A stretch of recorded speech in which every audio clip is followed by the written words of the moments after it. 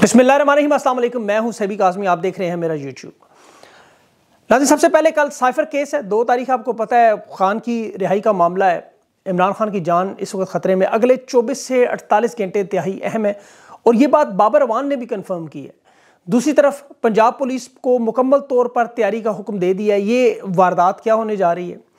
America में भी हुकूमत बाल बाल गिरने से बच गई। जस्ट आखिरी लम्हात में सेनेट में बिल पास हुआ, लेकिन ये एक साल में दूसरी दफ़ा हुआ। बाइडन हुकूमत लड़खड़ा रही है और उसके असरात आपको पाकिस्तान पर अभी नज़र आना शुरू होंगे।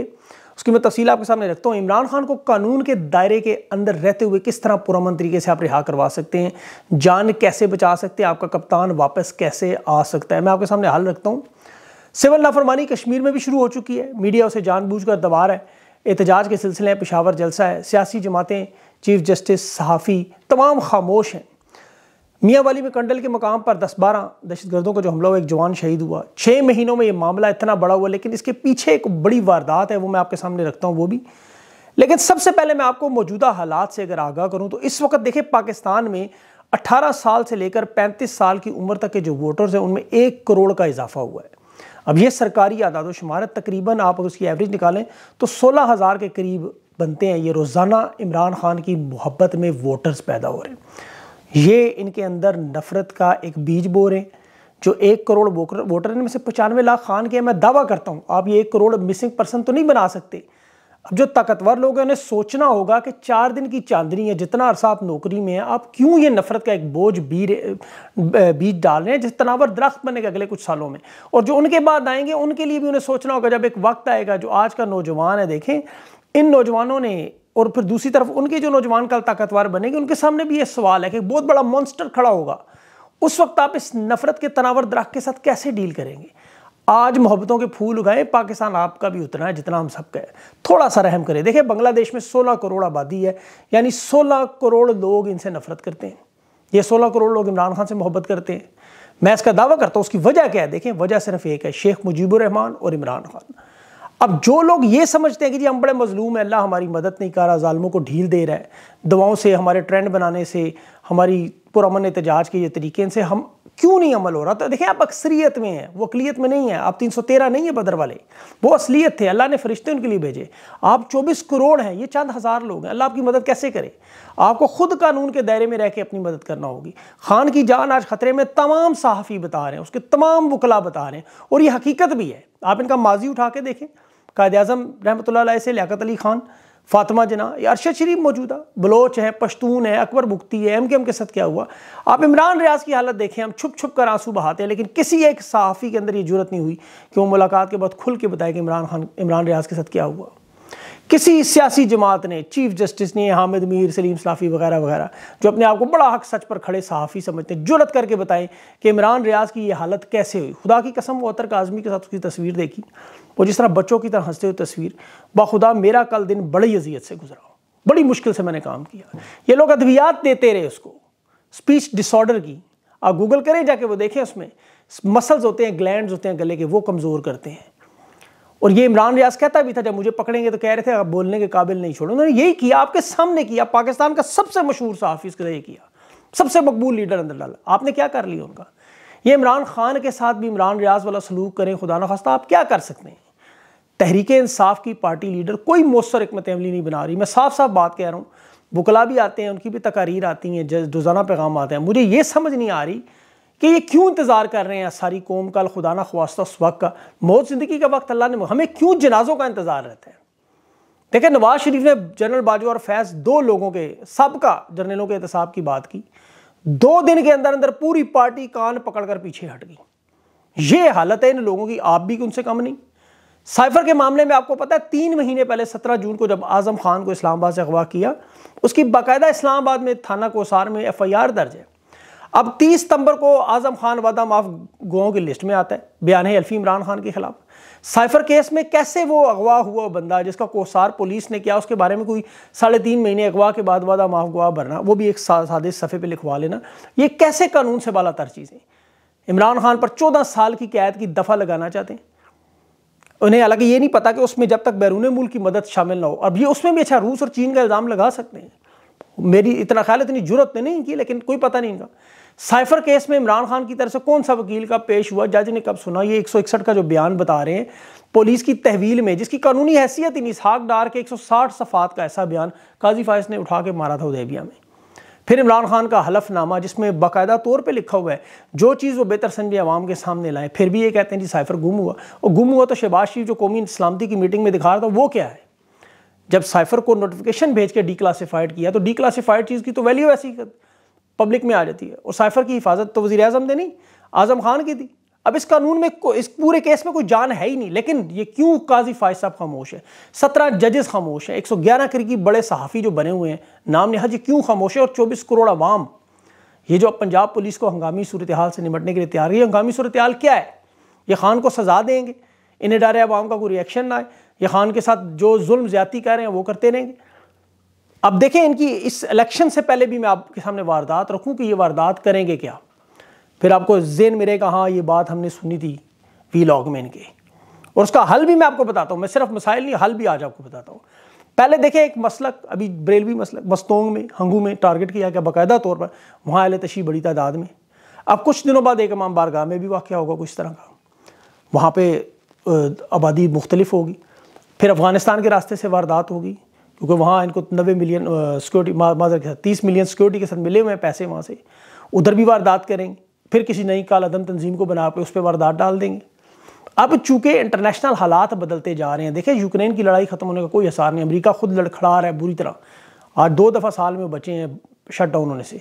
अब जो नया सेटअप कौमी इस हुकूमत में ये सूबों को तकसीम, पंजाब वाले शरीफ को, खैबर पख्तूनख्वा फजलरहमान को, सिंध में अलबत् मसला फंसा हुआ है क्योंकि बिलावल का मुस्तबिल तो बहुत बर्बाद नज़र आ रहा है। अब उन्हें भी वैसे फैसला करना हो किधर खड़ा बलोचिस्तान में अनवार हक, वो बाप पार्टी जिसने बनाई वजी अजम भी है निगरान। मरकज़ में शहबाज शरीफ नवाज़ शरीफ, दोनों में से जो बुजकशी जीते इनके दरमियान बुजकशी हो रही है। लेकिन देखें नाउमीद ना हो, मायूस ना हो हकाए का आपको लेकिन पता हो? इमरान खान को जुल्फ़ार अली भुटो बनाने की कोशिश और अवाम अब आप फैसला तो अवाम पे है बार बार कि अगर आपको अपनी, अपने बच्चों के, उनके मुस्तबिल की परवाह, पाकिस्तान से मोहब्बत, ये बड़ा मैं इंपॉर्टेंट आगे आपको इतने खुलदून का भी बताता हूँ।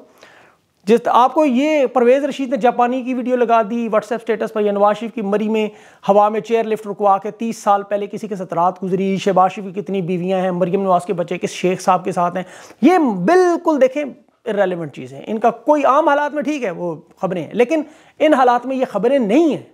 ये सिर्फ़ आपका अटेंशन डाइवर्ट हो रही है। आप तमाम साफ़ी जो पाकिस्तान से मोहब्बत करते हैं, इन्हें बार बार अपने वी लॉग में, अपनी ट्वीट्स में पोस्ट में ये समझाना होगा कि पाकिस्तान के अंदर लोगों का काम और ओवरसीज़ पाकिस्तानियों का असल काम है क्या? ओवरसीज़ पाकिस्तानियों की एक ही ताकत है, वो रिमिटेंस देखिए स्टेट बैंक के आप आदाद शुमार देखें। पाकिस्तान में कितनी फॉरन रिमिटेंस वो सही नहीं है, क्योंकि हुंडी और हवाले से बड़ा पैसा आता है।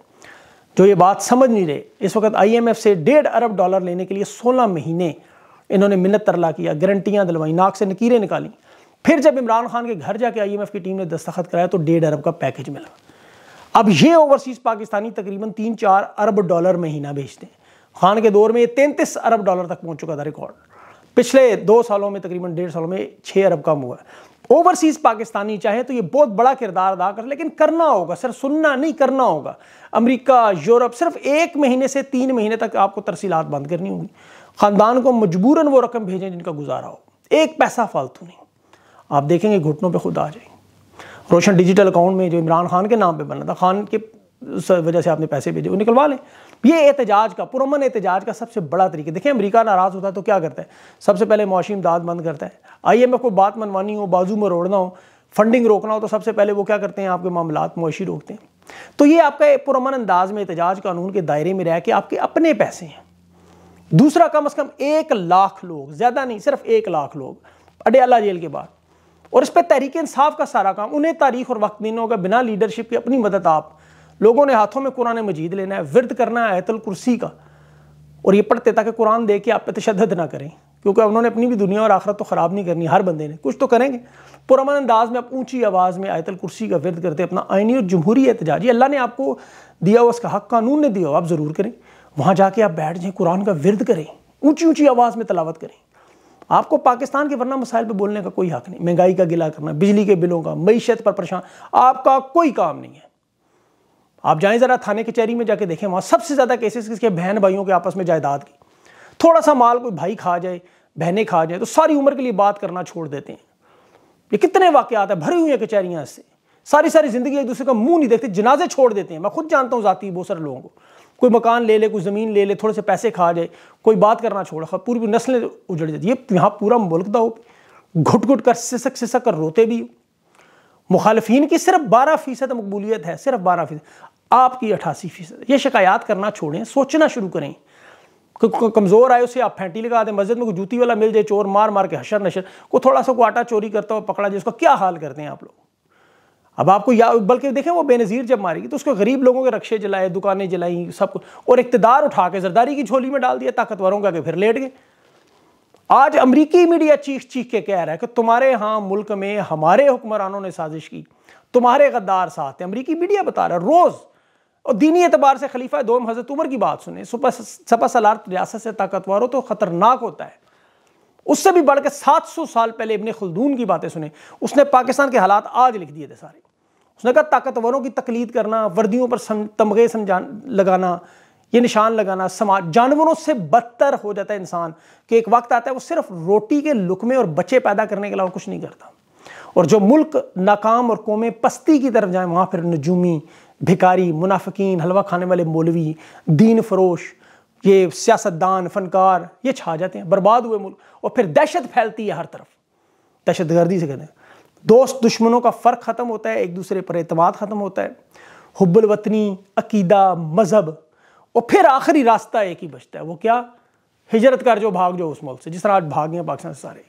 मुल्क नहीं, वो एक सराय, एक होटल रहता है सिर्फ़ वहाँ वो वतन नहीं रहता, वहाँ वीरानियों के डेरे होते हैं। आज यही सब कुछ पाकिस्तान में हो रहा है। और मीशत चलाने वाले रोजी रोटी के चक्कर में लोगों को एक नया लॉलीपॉप डॉलर सस्ता करके छब्बीस रुपये पेट्रोल महँगा कर देते हैं, बिजली महँगी करके आठ रुपये पेट्रोल सस्ता। मीशत का वटा सटा हो रहा है।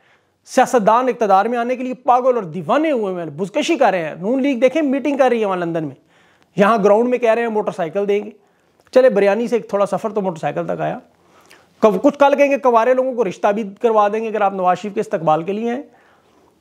लेकिन नवाज़ शरीफ वापस आएगा नहीं है तो खुद को नहीं, उसको पता भाई दो दिन में उसके आठ दफ़ा उसकी पार्टी का पॉलिसी बयान बदला। दो दिन में। इतनी ज़रूरत नहीं उनकी कि सबका जर्नलों के एहतसाब का नाम भी ले सके। अंदाज़ा करें। अब ये कुछ करेंगे वारदात। चौदह महीने सोलह महीनों में देखें, अगर ये हुकूमत बनाते भी हैं तो इन्होंने सोलह महीनों में चौदह पार्टियों ने मिल के अमरीका की सबकी मदद से, मीशत की क्या हालात के आपके सामने? और नवाज़ शरीफ को पता है, उसे हटा के ही शहबाज शरीफ बनेगा। लेकिन ये सरकारी नौकरियाँ हैं, इनके जो ला रहे हैं, वो भी ख़त्म हो जाएँगी तीन साल छः साल। उसके बाद जो आने वाले लोग हैं, उन्हें भी सोचना चाहिए कि आप किस मुल्क पे हुक्मरानी करेंगे, कुछ नहीं बचेगा। जिस तरह के हालात हैं, कुछ नहीं बचेगा आपके लिए। मीशत के हवाले से अंधेरा ही अंधेरा है। जब तक सियासी इस्तेकाम नहीं आएगा मुआशी इस्तेकाम नहीं होगा, दिफा मज़बूत नहीं हो, कोई शोबा नहीं चल सकेगा एक सौ बीस इदारे तबाह बर्बाद हो रहे हैं। आपको किसी बड़ी जंग में शामिल करके आप पैसे, आप डॉलर नहीं मिल सकते। आप बांग्लादेश बनने से पहले पाकिस्तान की हालत देखें सिर्फ़। जर्मनी को कर्जा दे रहा था उसके बाद जब टूटा, मीशत का क्या हाल हुआ? आप देख लें, ये आपके सामने, ये अकलो दानिश आपके, आप, अल्लाह आपके दिलों को नरम करे, अल्लाह आपको अकलो दानिश दे। आप पाकिस्तान का सोचे, पाकिस्तान पर रहम करें। मेरी तो दुआ है और दरख्वास्त है, इल्तजा है, पाकिस्तान पर रहम करें, पाकिस्तानियों पर रहम करें। अल्लाह आपको ये सोच किसी तरह, दिल अल्लाह की दो उंगलियों के दरमियान है, आपको पता है, कुरान की आयत मेरे जहन में नहीं आ रही। सूरह, उसमें अल्लाह ने कहा है कि दिलों को बदलने वाला वो है। वो अल्लाह इनके दिल बदले, इन्हें कुछ रहम उसमें डाले, कि इन्हें रहम आ जाए कि यार ये पाकिस्तानियों के साथ और पाकिस्तान के साथ ये जुल्म ना करें। तीन साल छः साल, दस साल, कितना अरसा आपने, कितने कितने बड़े आए और चले गए, फिर आप करना क्या है आपने? उसके बाद ये जो तबाही बर्बादी थोड़ा सा थोड़ा सा वतन से मोहब्बत। अल्लाह ताला पाकिस्तान और पाकिस्तानियों पर रहम करे, दुआ किया करे साथ, अल्लाह को याद किया करें और साथ साथ इसकी तदबीर भी निकालें। तहरीक इंसाफ का बहुत बड़ा काम है। उन्हें बहुत कुछ करना है इसमें। इनकी पार्टी को सोचना चाहिए, लीडरशिप को जो रह गए हैं बाहर। अपना ख़ास ख्याल रखें। वो इजाज़ें अल्लाह हाफ़